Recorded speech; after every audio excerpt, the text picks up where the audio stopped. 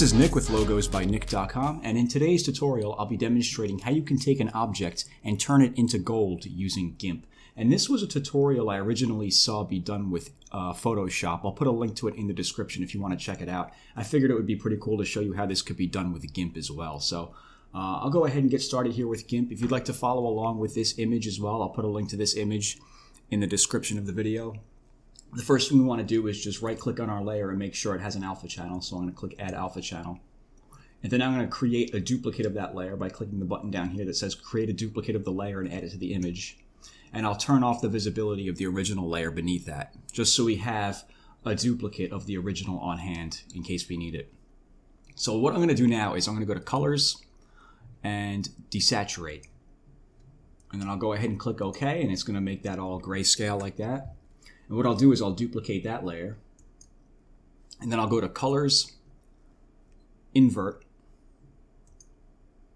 And then I'll set the mode, the blends mode up here, I'll set that to uh, difference. And what I'll do now is I'll right click on that layer and go to merge down. And what I'm going to do is I'm going to repeat that step one more time only with this image. I'm going to duplicate that layer. I'm going to go to colors, invert, and again set the blend mode to difference and then right click it and go to merge down. And what I'm going to do next is I'm going to add some color to this image here. So I'll go to colors colorize and I'm going to up here where it says hue I'm going to bring this to the left a little bit till it starts to turn like a goldish like a yellowish gold color. Maybe something like that right around 53 that looks pretty good if you want, you could take the saturation and bump that up a bit as well, just to add some more color to it. So it pops a little more. And I'd say that's pretty good right there. I'll go ahead and click OK. And what I'll do now is I'll go to Colors and Levels. And I'll take this left arrow over here and bring that in a little bit. And if you pay attention to how the image changes when you do this, you could just get an idea of the change we're trying to make here. I just want to make this uh, I just want to give this a little bit of more like um, contrast so it, it pops a little more. You can adjust this slider as well. And you could toggle the preview off and on to see the difference there. There's a slight difference, but I think it's good enough. I'm going to leave that as it is and I'm going to go ahead and click OK. And that pretty much does it for that. That's how you could take an object and turn it into a gold appearance like that. Now, if you want, you could take it and add a uh, like a gold backdrop behind it as well, which I'll, I'll show you how to do that.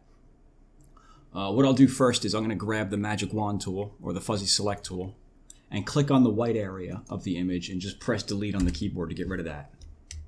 And let me zoom in by holding control and rolling up the mouse wheel. Let's go to select, none, and I want to get rid of all this extra area in here. You might not be able to see it um, on your screen, but on my screen I see like there's this white, like these artifacts left over. So I'm going to grab the eraser tool and I'm just going to get rid of that. Erase that out real quick. Uh, for cropping out the image, I just use the fuzzy select tool. I recommend using the the uh, the paths tool and taking your time and going around and doing it right. Uh, I was just doing this pretty quickly for the uh, the sake of keeping this tutorial relatively short. Um, okay, so once we've done that, what I'll do is I'll create a new layer. Click the button that says create a new layer, and uh, go ahead and click OK. We're going to choose transparency. Go ahead and click OK. I'm going to fill that with black, so I'll go to uh, edit fill with foreground color. And I'll just take that layer and bring it beneath the shoe layer. And then I'm going to create another layer on top of that by clicking the new layer button. We want again, we want transparency, and that's the layer we're going to put the uh, the gold glow uh, on. So I'm going to click on the shoe layer right here. I'll right click on that and go to alpha to selection. I'll go to select, grow. I'm going to grow that by 15 pixels. Go ahead and click OK. And then what I want to do is grab the, the, um, the dropper tool, the color picker tool over here. And I want to choose a, uh, a shade of yellow over here. You're going to notice it changes the foreground color uh, in your, in your uh, menu over here. I'm just going to grab another selection. I don't like how that came out. You might want to grab a few different selections until you get one that you like. That, I'll go with that right there. That's okay. Maybe something. You could even click on it and adjust it a little bit if you'd like. Like I'd like this to have a little more orange to it.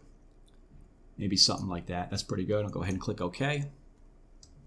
And then what I'll do is I'll click on this new layer that we created right beneath it and go to Edit, Fill with Foreground Color. And then we can go to Select, uh, select none. And we had like these extra artifacts in here. I'm just going to grab the eraser tool and get rid of that. And what I'll do now is I'll go to filters, blur, Gaussian blur, and I'm going to use uh, 250 pixels as a blur radius. So just go ahead and type that in 250. Go ahead and click OK. And there you have it. Uh, there's your glowing gold sneaker. Let me just bring the opacity of that down a little bit so it looks better. And that should pretty much do it for this tutorial. That's how you can create gold objects using GIMP. So if you have any questions, let me know. And as always, thanks for watching.